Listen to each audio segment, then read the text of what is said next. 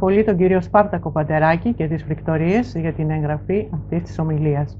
Το θέμα μας είναι η επίδραση της φιλοσοφίας στην τέχνη του ελληνικού κόσμου μέχρι τον 5ο αιώνα π.Χ.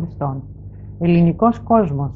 Πώς μπορεί κάποιος να ορίσει, να χαρακτηρίσει, να περιγράψει με τις δύο αυτές λέξεις έναν απεριόριστο, μέγιστο, θαυμαστό κόσμο που ξεπερνά τη σύγκρουση χρόνου και άχρονου, που υπερβαίνει το εφήμερο της, υπερ, της ύπαρξης και υπερνικά τα νέφη της αγνωσίας; Από τα έσχατα βάθη της αρχαιότητος, η βάση του ελληνικού αυτού κόσμου ήταν η ελληνική Χερσόνησος με τα νησιά Αιγαίου, Ιωνίου, η Κρήτη, η Κύπρος, τα παράλια της Μικράς Ασίας, του Ευξήνου Πόντου, της Νοτίου Ιταλίας και της Σικελίας και όλα τα προσιτά παράλια της Μεσογείου. Δεν ήταν κόσμος κλειστός, δεν, δεν είχε έναν τοπικό περιορισμό. Ουσιαστικά δεν είχε σύνορα, διότι εκτείνετο έως εκεί που έφτασε ο ελληνικός μύθος, δηλαδή παντού. Ο μύθος διαμορφώνει το ήθος και παρά τις διαφοροποιήσεις, ο ελληνικός μύθος ήταν ο βασικότερος παιδαγωγός και πνευματικός θησαυρός των Ελλήνων. Από τα βάση των αιώνων λοιπόν, κάτω από υπέρμετρο φως, αφυπνίστη ένα σπινθυροβόλο, οξυδερκές πνεύμα, που κυρίευσε τον τόπο και διαμόρφωσε υπερπολιτισμών με κορυφαία αθάνατα πνευματικά έργα, μνημεία, ασκληπία, ιερά, ναούς, θέατρα, στάδια, μαντεία, όπου τίποτα δεν κατασκευάστηκε κατά τύχη. Ο θαυμασμός και η απορία προς το αχανές και το ασύλληπτο άπειρο ανέπτυξε έναν ευρηματικό, ερευνητικό χαρακτήρα, αστήρευτο, κινητικό και δραστήριο στον χρόνο και στο φως. Κάτω από αυτό το φως, ενέργεια του διαφανούς το αποκαλεί ο Αριστοτέλης, αυτό το φως της διαφάνειας, της διάβγειας, των αποχρώσεων, της έντασης, της αντιλιάς, οι Έλληνες άρχισαν να διαρευνούν το συνίσταστε των πραγμάτων και να προσπαθούν να δώσουν φυσικές εξηγήσεις σε εξελίξεις και γεγονότα. Το πρώτο θαύμα είναι η θέαση και η παρατήρηση της φύσης στο άπλετο φως. Ο ήλιος είναι ο αίτιος, πάροχος και τροφός των πάντων. Ο ορατός κόσμος, ολοζώντανος, υπενήσεται το αφανές, το υπεραισθητόν, το απόλυτον. Όλα φαίνονται, όλα υπάρχουν, όλα πάλουν. Μέσα σε αυτήν τη φωτάβγια οι Έλληνες ανακάλυψαν το είναι του κόσμου, το είναι του εαυτού τους, της ύπαρξής τους, της ζωής τους. Ζωή και φως ηλίου ένα. Κάτω, καθώς επισημαίνει και Όμηρος, ζωή και ωρά φάος ηλίο. Έτσι το εκτιφλωτικό φως δίνει ζωή στο τώρα, στο νυν, που έρχεται από το παρελθόν, γίνεται τρομερό παρόν, το οποίο οδηγεί στο άγνωστο μέλλον το τώρα και το εδώ.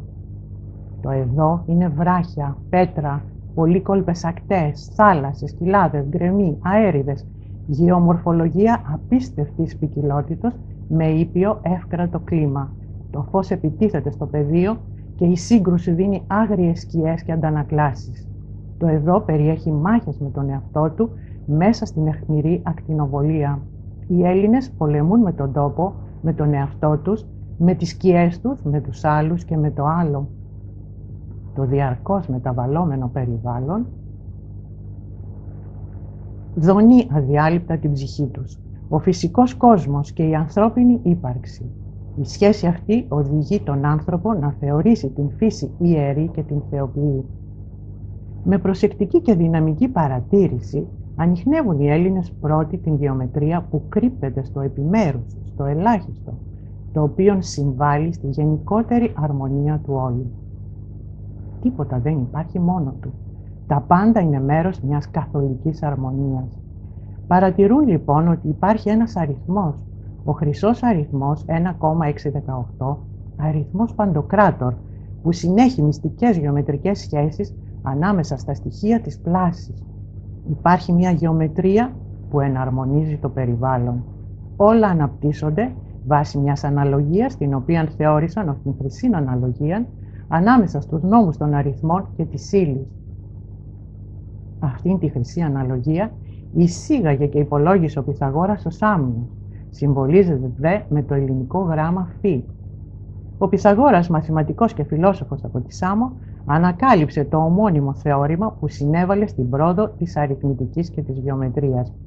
Η βασική θεωρία της διδασκαλίας του Πυθαγόρα και της σχολής του συνίσταται στην πεποίθηση ότι η ουσία των όντων βρίσκεται στους αριθμούς και στις μαθηματικές σχέσεις. Ξέρουμε ότι η Ιερά Τετρακτής της Δεκάδος ήταν ιερός αριθμός και σε αυτήν ορκίζονταν τα μέλη της σχολής του στον Κρότονα της κάτω Ιταλίας. Η τετρακτής ήταν η παράσταση του αριθμού 10 σε πυραμιδική παράταξη. Μέχρι το 10 υπάρχει αρμονική γεωμετρική αριθμητική αναλογία. Ο κάθε αριθμός έχει ιδιαίτερη σημασία. Με την παρατήρηση και τη γνώση που αποκτούν αργά και σταθερά, ταξινομούν και κατατάσσουν τα στοιχεία που ανακαλύπτουν, προσπαθούν να μπουν μέσα στο αιωνίος κινούμενων, να καθυλώσουν και να κινητοποιήσουν σε στιγμιαίες μορφές των χρόνων. Ο δε χρόνος πανταχού αυτός, διατείνεται ο Αριστοτέλης. Η φύση μέσα στον χρόνο πλάθει μορφές. Η μορφή είναι η τελειωμένη πραγματικότητα της ύλης. Ο Έλληνας αρχίζει να μιμείται τις μορφές και τις εικόνες της φύσης και ό,τι του προκαλεί έκπληξη, θαυμασμό, δέος όπως τα ζώα, τα πουλιά, τα φυτά. Το μιμήστε σύμφυτον εστί της ανθρώπης εκπαίδων αναφέρει ο Αριστοτέλης στο έργο του περιποιητικής. Οι Έλληνες βλέπουν μέσα στη φύση παντού το στοιχείο της ζωής, στο νερό, στον αέρα, στη γη. Βλέπουν την δύναμη εκείνη η οποία κινεί και μορφοποιεί την ύλη. Φύσης και φίεστε είναι η ενότητα ύλης και ζωής. Η έννοια της ύλης, της δυνάμεως, του αριθμού, του μεγέθους, της κινήσεως, του γίγνεσθε, του είναι, του συνεχούς, του χρόνου, του χώρου, του ατόμου, είναι καθαρά δημιουργήματα του Έλληνα που ψάχνει και αναζητά την αλήθεια, την πρώτη αρχή, η οποία ούτε γίνεται ούτε φτύρεται και λέγεται φύσης αίσοζωμένη. Οι Έλληνες θέλουν να μάθουν. Στο έργο μετά τα φυσικά ο Αριστοτέλης λέγει «Πάντες οι άνθρωποι φύση του ιδένε ορέγονται». Όλοι οι άνθρωποι από τη φύση τους θέλουν να μαθαίνουν. Το σπουδαιότερο πράγμα που υπάρχει στην ανθρώπινη φύση είναι να θέλει να μαθαίνει. Από αυτό ξεκίνησαν όλα. Από τις αισθήσεις αποκτάται η εμπειρία. Από όμοιες εμπειρίες αποκτάται η τέχνη. Από την τέχνη αποκτάται η επιστήμη. Από την επιστήμη αποκτάται η σοφία. Σοφία είναι η γνώση των πάντων, αφού ο σοφός είναι αυτός ο οποίος τα πάντα δύναται γνώνε. Η εξέλιξη της σκέψης από το 750 π.Χ.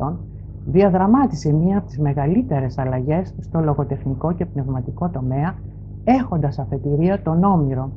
Για πρώτη φορά έρχεται στο προσκήνιο η δημιουργική προσωπικότητα. Ο Όμηρος άσκησε μεγάλη επιρροή με το έπος του «Ιλιάδα» και λίγα χρόνια αργότερα με την Οδύσσια περίπου το 700 π.Χ.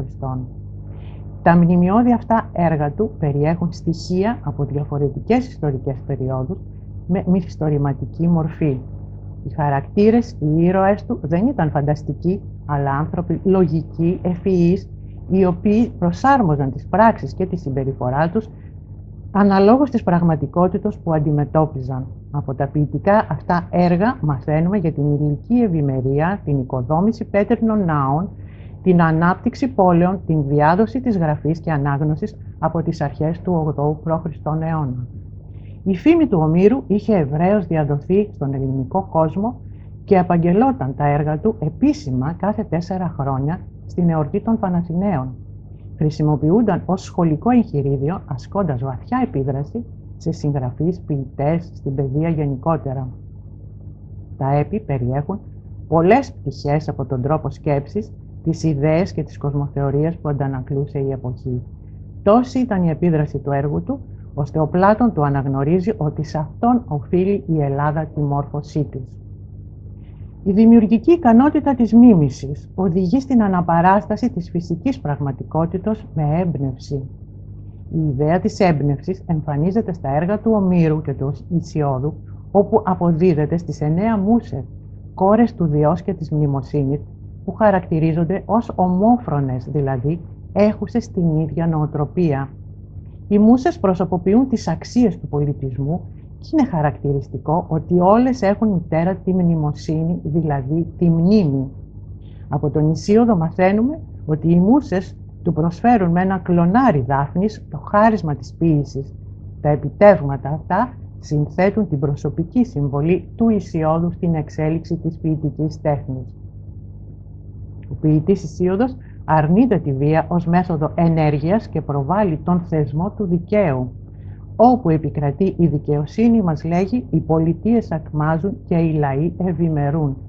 Οι άνθρωποι περίμεναν από τον ποιητή τους την μοίηση στη ζωή και η κοινωνία έπαιζε πιο άμεσο ρόλο στη διαμόρφωση ενός καλλιτέχνη, όπου και έδιναν νέες διαστάσεις στην πνευματικότητα.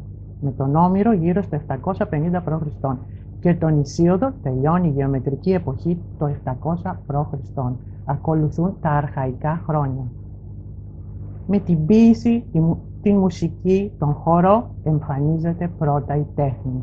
Αργότερα η φιλοσοφία. Τέχνη είναι η επιδεξιότητα, η ευφυΐα, η συστηματική μέθοδος του να δημιουργείς, να φτιάχνεις κάτι. Γενικά θα λέγαμε είναι η μαστοριά να μεταμορφώνεις την ακατέργαστη ύλη διαμέσου του πνεύματος σε έργο που προκαλεί στην ψυχή του θεατού ή ακροατού αισθητική απόλαυση. Η ευαισθησία της φύσης εισέρχεται δια της ευαισθησίας του καλλιτέχνη στα έργα που κατασκευάζει και κάνει διάλογο μέσω των αισθήσεων με τον θεατή ή ακροατή. Τα σηκώνας αυτών θεωρούνται χαίρομεν, επισημαίνει ο Αριστοτέλης και αναφέρεται στις καλές τέχνες, ποίηση, λογοτεχνία, γλυπτική, αρχιτεκτονική, ζωγραφική, μουσική, χορό, θέατρο, σε αντίθεση προς τα σβανάυσους τέχνα που αρμόζουν στους δούλους. Ο καλλιτέχνης με το νου του συλλαμβάνει τις μεθόδους και τους νόμους που του χρειάζονται, ώστε να μεταμορφώσεις σε δικό του κόσμο τα διαφορετικά στοιχεία που συμμετέχουν όλα σε αρμονική συνύπαρξη. Η αρμονία είναι ένας νόμος βαθιάς τάξης που απορρίπτει οτιδήποτε περιττό. Είναι η κράσης και η σύνθεσης των εναντίων, των αντιτιθεμένων τάσεων. Όπου υπάρχει αρμονία υπάρχουν μαθηματικοί κανόνες.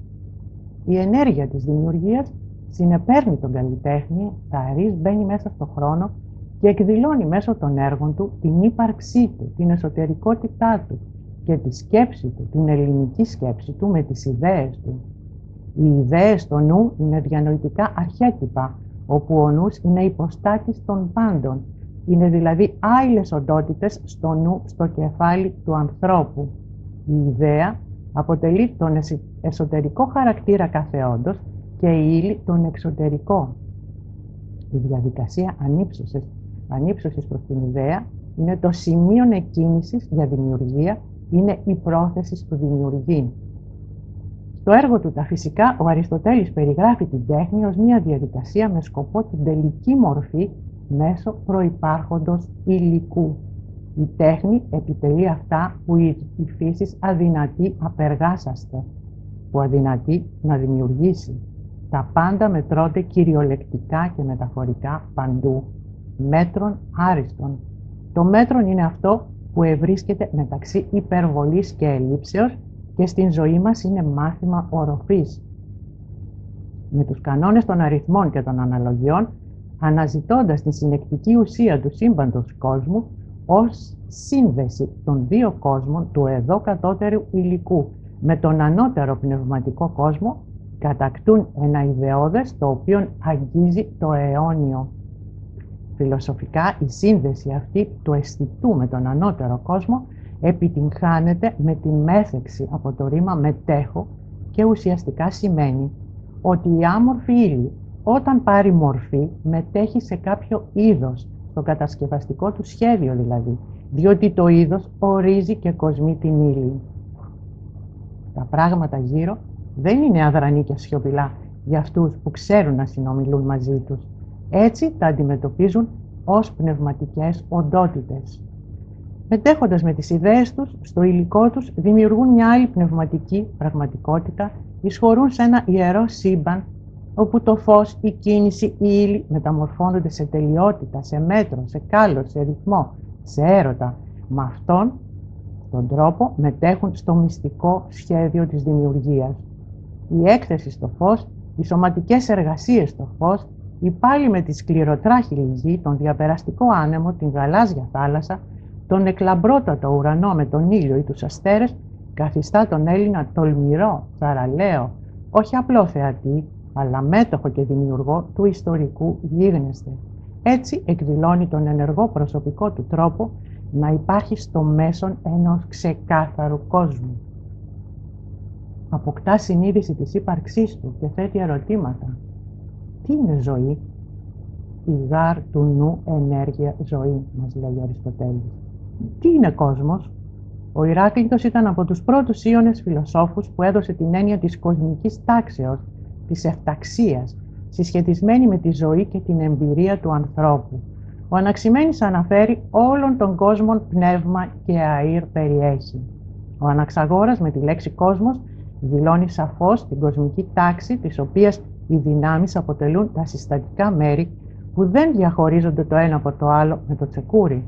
Ίσως από τον Αναξαγόρα έμαθε ο Ευρυπίδης να μιλάει για τον αγέραστο κόσμο της αθάνατης φύσεως. Το ίδιο έφτακτο σύμπαν είναι αυτό το οποίο έχει κατά νου ο Εμπεδοκλής όταν μιλάει για τα στοιχεία που συνενώνονται εις έναν κόσμο. Ο Πλάτων στο Γοργία αναφέρει και ουρανών και γην και θεούς συνέχιν και φιλίαν και κοσμιότητα και σοφροσύνη και δικαιότητα και το όλον τούτο διατάφτα κόσμων καλούσιν, ούκα κοσμίαν ουδέα κολασίαν.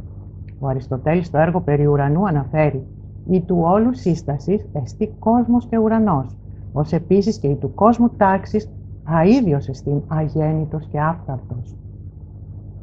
Ο κόσμος λοιπόν είναι ένα οργανωμένο σύστημα με ευπρεπής διευθέτηση που περιέχει άπειρα και περαίνοντα στοιχεία, κατά τον Πυθαγόρα, τα οποία είναι αρχές και θεμέλια συντεριασμένα με συμμετρία και ισορροπία, περιέχει παράγοντες που αλληλοσυγκρούονται καθώς και φαινόμενα που παρουσιάζουν περιοδικότητα.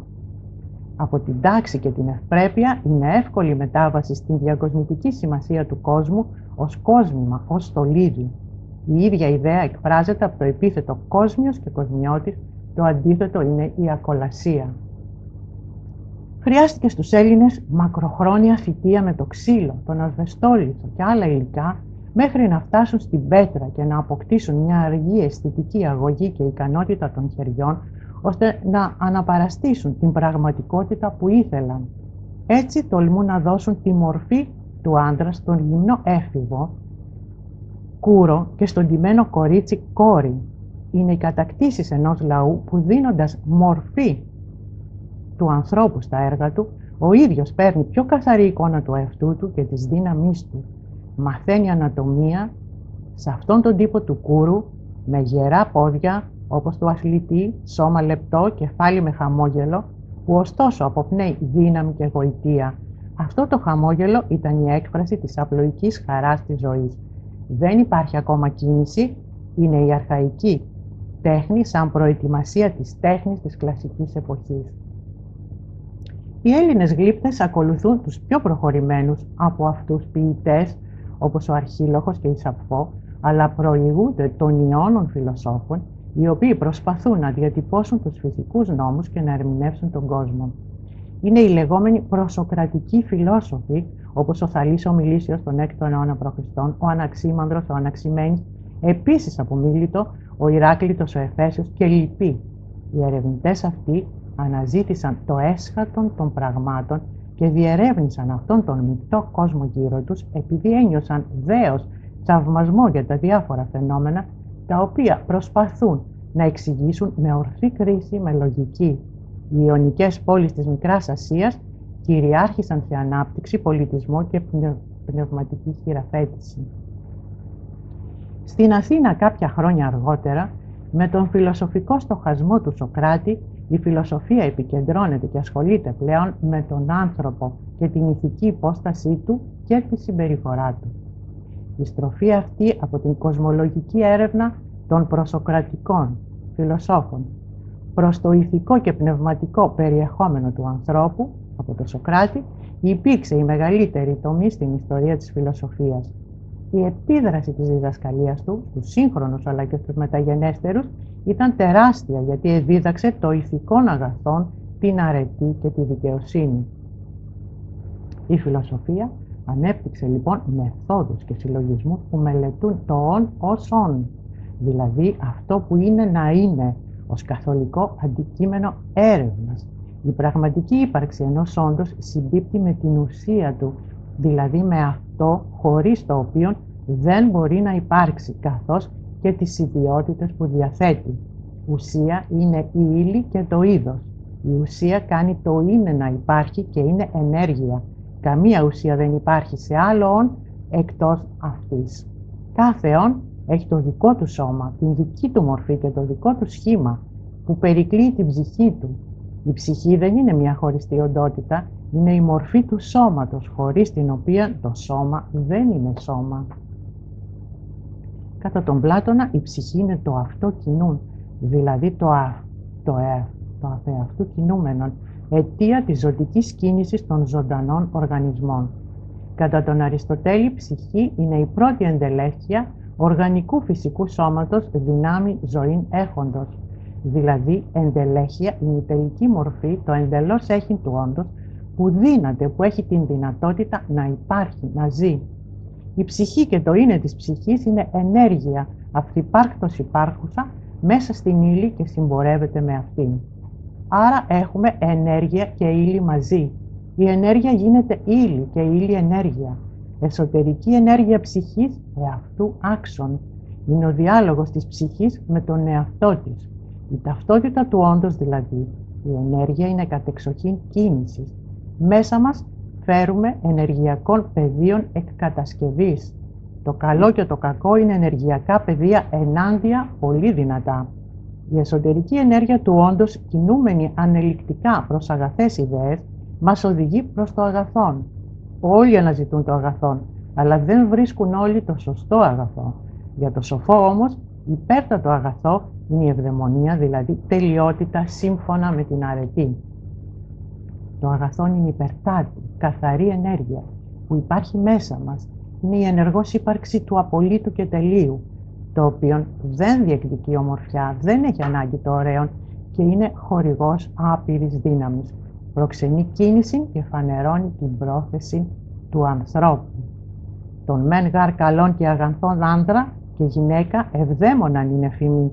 Τον δε άδικων και πονηρών άνθλιον είναι, αναφέρει ο Πλάτων στο Γοργία. Δηλαδή, οι αγαθοί δεν πρέπει να μεταβάλλονται σε δυστυχείς, ούτε οι κακοί να μεταβάλλονται σε ευτυχείς είναι η αντίληψη του καλός καγαθός, διότι στην έννοια του καλού που περιείχε το ωραίο έδωσαν ηθική διάσταση. Καλοκαγαθία κατά τον Πλάτωνα είναι η έξις προαιρετική των βελτίστων, δηλαδή η τάση που οδηγεί στην επιλογή του καλύτερου. Ο Αριστοτέλης δίνει με σαφήνεια των ορισμών του καλού. Του δε καλού μέγιστα είδη η τάξη, συμμετρία και το ορισμένων. Α, μάλιστα, δεικνύουση εμαθηματικέ επιστήμε, Δηλαδή το καλόν έχει τάξη, συμμετρία και όριον, όπως αποδεικνύουν οι μαθηματικοί κανόνες. Δηλαδή περιλαμβάνει μαθηματική γνώση. Γνώση που υπερβαίνει την εμπειρία, γιατί αυτός που ισορροπεί μέσα του με το καλό, γεννάει την γεωμετρία μέσα του. Ο άνθρωπος πρέπει να έχει ισορροπία αλλά και δύναμη. Αυτά τα βασικά χαρακτηριστικά του καλού αντιστοιχούν προς την εσωτερική ηθική διάσταση του ανθρώπου. Η μαθηματική επινόηση για τη συγκρότηση του κόσμου και η ηθική διάσταση του ανθρώπου γίνεται πλέον το θεμέλιο της εκπαίδευσης των πολιτών, η οποία απαιτεί πειθαρχία επί των παθών και άσκηση των αρετών. Οι αρετές της δικαιοσύνης, όπως οι αρετές της δικαιοσύνης, η οποία αποδίδει στον καθένα ό,τι του αξίζει, της Ανδρείας, η οποία είναι θάρρος πολεμικών, της Σοφροσύνης, η οποία είναι συμφωνία της ψυχής περί των καλών και των εσχρών, της Φρόνησης, η οποία είναι δύναμη ικανή να γεννήσει την ευδαιμονία του ανθρώπου. Η Σοφία άρχισε να απλώνει το χέρι της στη τέχνη και με τη γνώση που είχαν αποκτήσει οι καλλιτέχνες εμφυσούσαν στις μορφές που έπλαθαν όχι το εφήμερο, αλλά το ιδανικό αιώνιο απόλυτο. Επισέρχεται λοιπόν, όπως είπαμε, ο στοχασμός, η γνώση, η σοφία. Η αγάπη προς την σοφία είναι η φιλοσοφία. Η φιλοσοφία κατά τον Αριστοτέλη είναι η γνώση δύσκολων θεμάτων, απομακρυσμένων από τις αισθήσεις. Τα απομακρυσμένα από τις αισθήσεις είναι τα καθόλου, τα οποία είναι το σύνολο των όντων, πάντα τα όντα. Είναι λοιπόν η ανώτερη δυνατή γνώση, η οποία ονομάστηκε πρώτη φιλοσοφία και η οποία καταγίνεται με τις, αρχ... με τις αρχές και τις αιτίες των όντων. Ο Αριστοτέλης στον πρωτευτικό του λόγο προβάλλει τη συγγένεια της φιλοσοφίας με τις μαθηματικές επιστήμες. Ο βασικός συνδετικός κρίκος που ενώνει μαθηματικά και φιλοσοφία είναι η λογική απόδειξη και τεκμηρίωση που απαιτείται και στις δύο επιστήμες. Ο φιλόσοφος ερευνά την πραγματικότητα και πέραν από τις αισθήσεις. Πέραν από τις αισθήσεις υπάρχει μόνο μία σταθερά, ο νόμος των μαθηματικών, διότι αυστηροί μαθηματικοί νόμοι διέπουν το σύμπαν. Δεν είναι τυχαίο που ο Πλάτων στην Ακαδημία του είχε αναρτήσει την πινακίδα στην είσοδο «Μη δεις αγεωμέτρητος η σύτομου την στέγη, του τέστην άδικος μη δεις παρισερχέστο, τι είδε ισότης γάρ και δίκαιον εστί γεωμετρία. Η ισότης και το δίκαιον είναι γεωμετρία. Η φιλοσοφική ρίση ότι το πιο δίκαιο είναι το πιο όμορφο καταδεικνύει τον σφαιρικό τρόπο με τον οποίο οι Έλληνες αντιλαμβάνονται πλέον την ομορφιά, εσωτερική και εξωτερική. Έτσι οι ποιητές έλεγαν ότι η ποίηση έχει γοητεία που δίνει χαρά στους νητούς. Οι γλύπτες ανεφέρονται στην συμμετρία, οι ρήτορες στην ευρυθμία των λόγων τους. Στους ύμνους τους δε μιλούσαν για την αρμονία του κόσμου. Όλα ευρυθμία, όλα ευμορφία, όλα φωτοπαίγνιο. Η γεωμετρία του ωραίου, η γεωμετρία της ευγένειας, η γεωμετρία της αρετής του ευγενούς ήθους. Το κάλος και η αρετή στο κέντρο του ελληνικού κόσμου. Κάλος είναι το εξαμβωτικό απόλυτο και φανερώνει έναν άλλο κόσμο στον εδώ υλικό κόσμο. Στο εξωτερικό κάλος με τη φιλοσοφία προστίθεται και το εσωτερικό κάλος, διότι γινόταν αντιληπτόν πλέον ως ηθική και θρησκευτική αξία, φανερώνοντας την εσωτερική όψη των πραγμάτων. Το ωραίο έγινε ταυτόχρονα και ενάρετο, γιατί στους μαθηματικούς και γεωμετρικούς κανόνες, όπως είπαμε, επροστίθονται οι αξίες και οι αρετές που δίδασκαν οι φιλόσοφοι. Με άλλα λόγια, η μορφή που δημιουργούσαν έπρεπε να κλείνει εντός της πνευματικό περιεχόμενο, έπρεπε να περικλεί μια μεγάλη και ήρεμη ψυχή. Ο μορφωμένος άνθρωπος σημαίνει πνευματικά διαμορφωμένος άνθρωπος που έχει ξεφύγει από την άμορφη μάζα. Ένας από τους μαθητές του Σοκράτους μας λέγει πως ο μεγάλος φιλόσοφος συνιστούσε στους καλλιτέχνες της εποχής ότι έπρεπε να παριστάνουν τη λειτουργία της ψυχής, το ήθος της ψυχής, μελετώντας με ακρίβεια τον τρόπο με τον οποίο τα συναισθήματα επηρεάζουν το σώμα. Οι Έλληνες καλλιτέχνες με γνώση και επιδεξιότητα κατέκτησαν τα, μέσα, τα μέσα ώστε να φανερώσουν τα σιωπηλά συναισθήματα που δημιουργούνται στους ανθρώπους. Η θεωρία του Σοκράτη δίδασκε ότι το καλό και το ωραίο προκύπτει από τον άνθρωπο είναι ο υψηλός ανθρωπισμός του Σοκράτη. Υποστήριζε δε ότι υπάρχει μια απόλυτη αλήθεια και ότι οι ηθικές αξίες έχουν οικουμενικό χαρακτήρα, ότι δηλαδή, παραδείγματος χάρη η δικαιοσύνη, είναι αιώνια ηθική αρχή, έχει την ίδια ισχύ για όλους τους ανθρώπους, ανεξαρτήτως εποχής και τόπου. Ο Σοκράτης, ο άριστος, φρονιμότατος και δικαιότατος των Ελλήνων κατά τον Πλάτωνα, ταύτισε την αρετή με τη γνώση, όπως εξάλλου έκαναν ο Πλάτων και ο Αριστοτέλης. Ουδής εκόν κακός, δηλαδή κανείς δεν πράττει το κακό εάν ήξερε ότι είναι κακό. Η μέργα αρτού του γνώσης του καλού, σοφία και αρετή αληθινή, η δε άγνοια αμαθία και κακία ενεργής, μας λέγει ο Πλάτων στο Θεέτητο. με τις συνεχείς, με τις συνεχείς απορίες του ο Σοκράτης προσπαθούσε να εκμεύσει από τους μαθητές του γνώση και να διερευνήσει το εσωτερικό εγώ του ανθρώπου στην αναζήτηση αιώνιων κανόνων ηθικής. Έθεσε δε ως αρχή της διδασκαλίας του την αυτογνωσία του γνώτης αυτών. Έπρεπε ο καθένας να έχει αυτεπίγνωση, να ξέρει ποιος είναι, ποιες ικανότητες και ποια χαρίσματα έχει. Από την άγνοια προκύπτει η απορία και από την απορία προκύπτει η γνώση. Προκύπτει έτσι κάτι πολύ σπουδαίο, το οποίο είναι απόρρια του γιγνώσκην και το οποίο αναδεικνύει τον άνθρωπο ως το εξοχότερον όν στον πλανήτη. Ο Σοκράτης είναι το κύριο πρόσωπο σε όλα τα συγγράμματα με διαλόγους του Πλάτωνα, του του πιστού του μαθητή. Οι διάλογοι έχουν για τίτλο το όνομα ενός από τα πρόσωπα που συζητούν.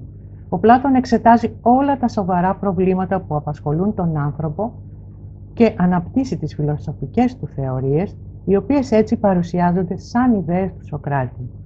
Τα έργα του Πλάτωνα είναι γραμμένα με μεγάλη λογοτεχνική χάρη. Ο Πλάτων ίδρυσε την Ακαδημία του, τη φιλοσοφική σχολή του, όπου εδίδαξε αστρονομία, μαθηματικά, κυρίως όμως φιλοσοφία.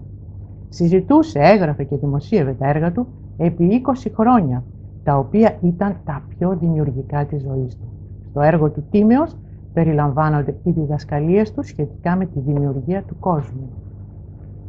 Το έργο του Πολιτεία αποτελεί μέχρι σήμερα σημαντικότατο σύγγραμμα πολιτικών επιστημών. Το Συμπόσιον είναι ένα από τα πιο δημοφιλή έργα της ελληνικής γραμματείας σχετικής με τον έρωτα από άποψη μεταφυσική, κοινωνιολογική, παιδαγωγική. Έρος είναι ο νόμος της διαιώνισης των μορφών και με την αρμονία μαζί είναι οι νόμοι της συλλειτουργίας τους. Ο Πλάτων συνδυάζει το κάλος και τον έρωτα ως ανάμνηση, ως ξύπνημα ενός κόσμου θαμένου για πάντα στην ψυχή. Ο έρος αποκρούει το αόριστο, έλκεται από το καθορισμένο και είναι για τον διανοητική ενέργεια που γεννά την ένωση.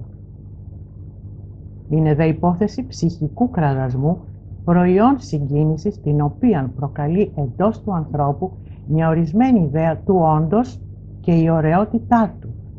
Όπου βασιλεύει η ακοσμία του χάους, δεν υπάρχει κάλος ούτε έρος και δεν συγκατοικεί ο έρος ποτέ με την ασχήμια. Η ασχήμια της ψυχής λέγεται κακία. Έτσι γεννά το φιλοσοφικός έρος που είναι η επιθυμία, η έλογος όρεξη προς τις υψηλότερες, τις ανώτερες αξίες. Ο Πλάτων αναφέρει «Έρος πρώτος αυτός, ον κάλιστος και άριστος, ούτως εστίν οποίον ειρήνην μεν εν ανθρώπης, πελάγει δε γαλήνην, ανέμον μνημείαν». Το σχήμα κάλος, έρος, θείον κυριάρχησε ως σχήμα γνήσιας πνευματικής ζωής, ως κλίμαξ της εξελίξεως της ψυχής. Η αναζήτηση του κάλους με ό,τι αυτό περιλαμβάνει οδήγησε προς τη μεγάλη υψηλή τέχνη και εδώ είναι το σταυροδρόμι της τέχνης με τη φιλοσοφία. Η επίδραση της φιλοσοφίας στην τέχνη κατήφθηνε τους μεγάλους καλλιτέχνες της κλασικής περίοδου πλέον σε διανοητικές συλλήψεις άφθαστες, άπιαστες. Οι καλλιτέχνες αλλάζουν την υλική πραγματικότητα και διεισδύουν με το νου τους σε έννοιες δυσπρόσιτες, καθώς συλλαμβάνουν όχι τον αντελή και μεταβαλλόμενο κόσμο των επιμέρους, αλλά αυτά καθεαυτά τα αιώνια πρότυπα των καθόλου. Τα καθόλου, όπως είπαμε, αφορούν πάντα τα όντα αΐ παντή και εις πάσαν περίπτωση. Κάθε μορφή που πλάθει ο καλλιτέχνης περιβάλλεται από την ιδιαίτερη της ατμόσφαιρα που εντέχνος αποκρύπτει μαθηματικές γνώσεις και αρετή, διότι η μορφή χωρίς περιεχόμενο είναι παιδικό παιχνίδι, μας λέει ο Σοκράτης. Η ύλη συμμετέχει στις ιδέες και αυτό χάρη του στοχασμού, της εμπειρίας, της γνώσης και της εξαιρετικής ικανότητας του καλλιτέχνη που ανάγει στο έπακρον την έννοια του απολύτου κάλους πρακτικά και ιδεολογικά. Η ιδιοσυγκρασία του καλλιτέχνη και ο σεβασμός τους στους κανόνες των μαθηματικών και της φιλοσοφίας είναι ένας από τους λόγους του μετασχηματισμού που υφίσταται ύλη στα χέρια του τον 5ο αιώνα π.Χ. Η βαθιά καλλιτεχνική του σοφία θα μπορούσαμε να πούμε τον οδήγησε σε μία ελευθερία μέσα στους κανόνες. Η ελευθερία περιέχει κανόνες και αυστηρότητα, διότι προϋποθέτει σωστή διακυβέρνηση εαυτού. Ουδής ελεύθερος εαυτού, μη κρατών, διδάσκει ο Πυθαγόρας. Και ο Πλάτων αναφέρει ελεύθερον το άρχον αυτού, δηλαδή ό,τι άρχει το εαυτού του είναι ελεύθερον, αυτός δηλαδή που κυβερνά τον εαυτό του, αυτός είναι ελεύθερος.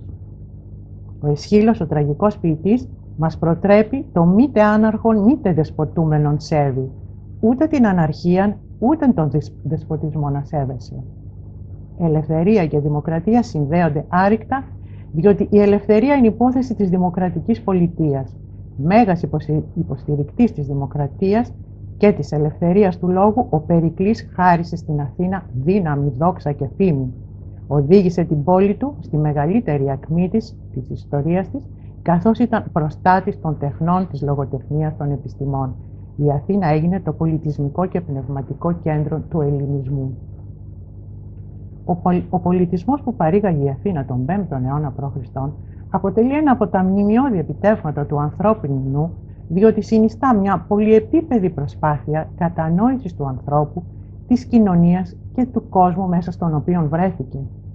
Από τη Μικρά Ασία κατέφτασαν φιλόσοφοι όπως ο Αναξαγόρας που μελετούσαν το εξωτερικό περιβάλλον, φιλοσοφία που άνθησε στην Ιωνία από την εποχή του Θαλίου, όπως είπαμε, στις αρχές του 6ου π.Χ. αιώνα η Αθήνα προσέφερε γόνιμο έδαφος σε φιλοσοφικές θεωρίες που εισήχθησαν από άλλες περιοχές και διερευνήθηκαν στις συστηματικές σχολές του Πλάτωνα και αργότερα στο Λύκειο του Αριστοτέλους.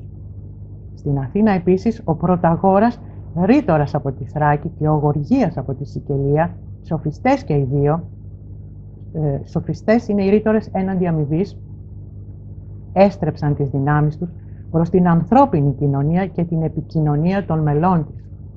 Ο Πλάτων στον Πρωταγόρα αναφέρει ότι η πνευματική ζωή στην Αθήνα ξεπέρασε τα συμβατικά και κοινωνικά της όρια. Ο Πλάτων επίσης αναγνωρίζει την υψηλή επίδοση στην αριθμητική και τη γεωμετρία, την αστρονομία και λοιπές επιστήμες. Την κύρια όθηση στις μελέτες αυτές φαίνεται ότι έδωσαν οι Πυθαγόροι και οι διδασκαλίες τους. Οι αξίες που ξεπερνούν τον άνθρωπο, το ανθρώπινο σώμα, το άνθος της νεότητας, φάνταζε αντανάκλαση του Θείου. Διαμέσου μιας τελειοποιημένης ανθρώπινης ύπαρξης, στο αποκορύφωμά της ο άνθρωπος έγινε αθάνατος. Η ελληνική τέχνη του Χρυσού αιώνα, όπως ονομάστηκε ο 5ος αιώνας π.Χ., είναι τέχνη πνευματική, τέχνη ανθρώπων που η σκέψη τους είναι καθαρή και διαυγής, ανθρώπων που προχώρησαν παραπέρα και επινόησαν απαραίτητους κώδικες ώστε να εφαρμόσουν στο έργο τους την δελφική ρίση μηδέν άγαν, δηλαδή τίποτα το υπερβολικό, τίποτα που συσκοτίζει ή συγχαίει αυτό που θέλουν να εκφράσουν. Τα επιτεύγματά τους συγκλονίζουν γιατί είναι η ίδια η ανθρώπινη αυτογνωσία. Για τον Έλληνα καλλιτέχνη ο άνθρωπος είναι ο κύριος του κόσμου γιατί ο νους του αντελήφθη και τους νόμους του κόσμου αλλά και την ομορφιά του κόσμου. Στην Ελλάδα οι καλλιτέχνες λοιπόν έγιναν σοφοί, διότι αντιλαμβάνονταν πάρα πολύ καλά το μέτρο, το ρυθμό, αλλά και τους μαθηματικούς υπολογισμούς και παθιάζονταν με το ωραίο, το αγαθό, το αληθινό.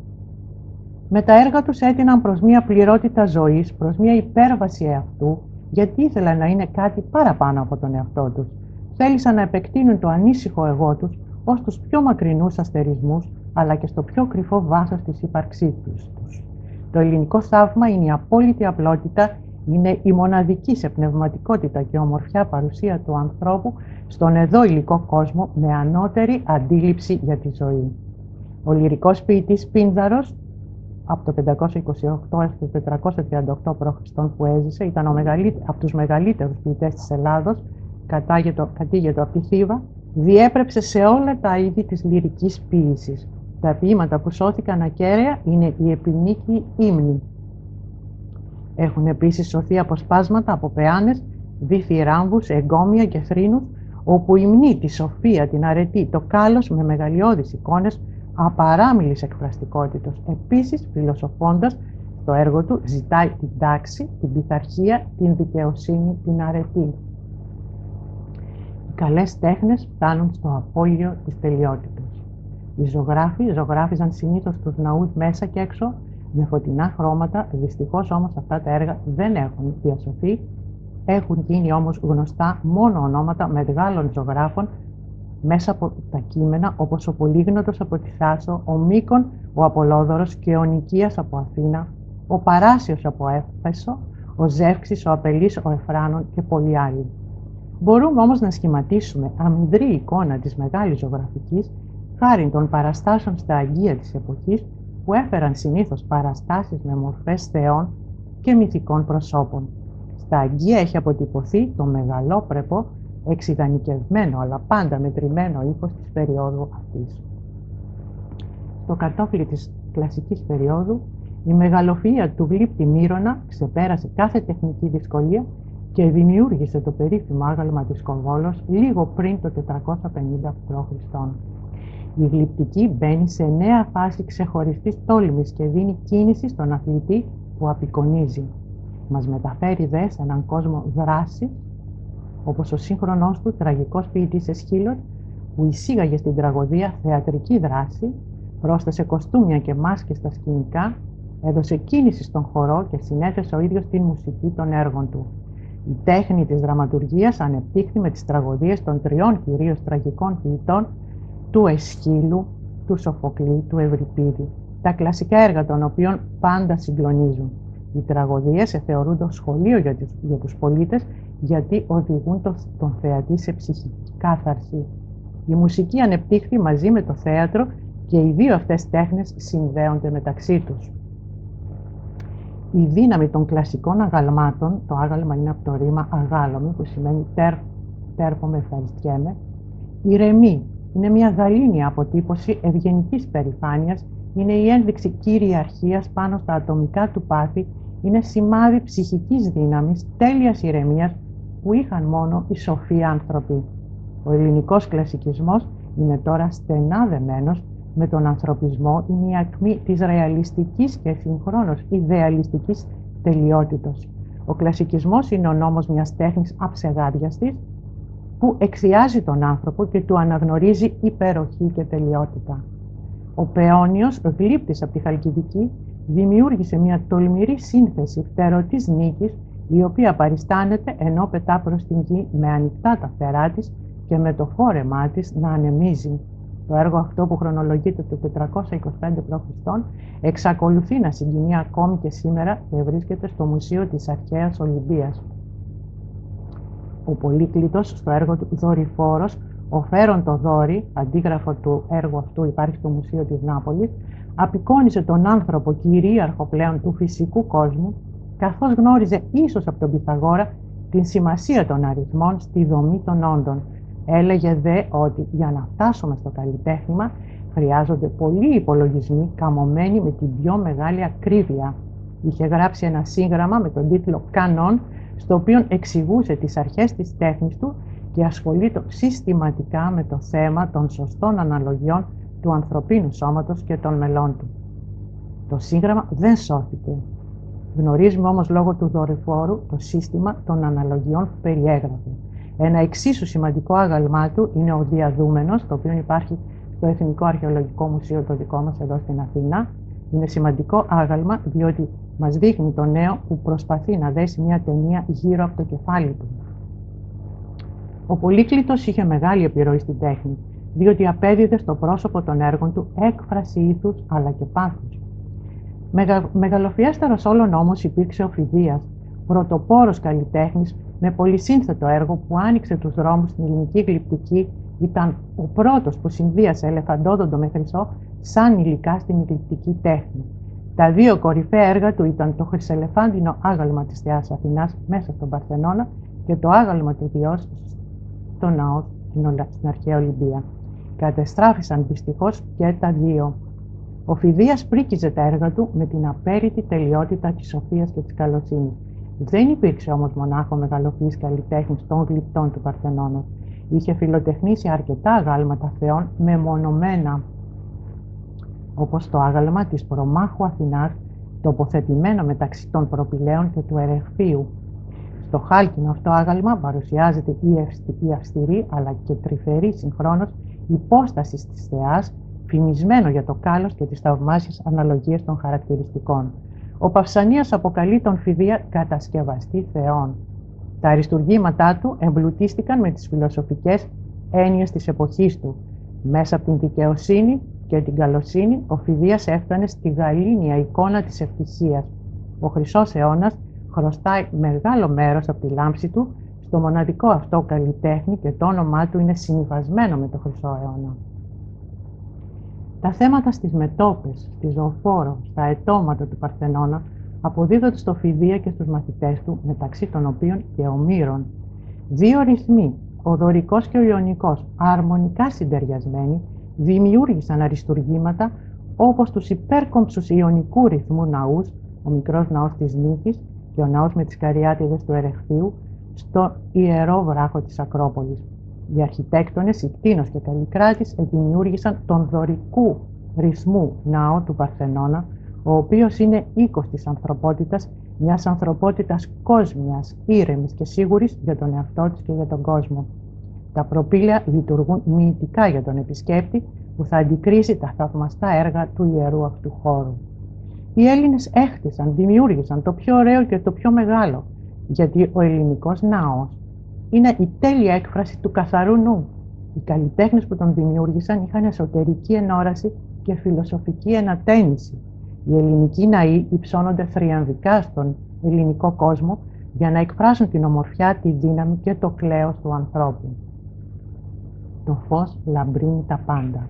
Οι κύονες, τα κοιονόκρανα, τα ετώματα, τα ανάγλυφα, τα αγάλματα, όλα λάμπουν, όλα αστράφτουν όπως αστράφτηκε το πνεύμα του πολιτισμού που τα δημιούργησε.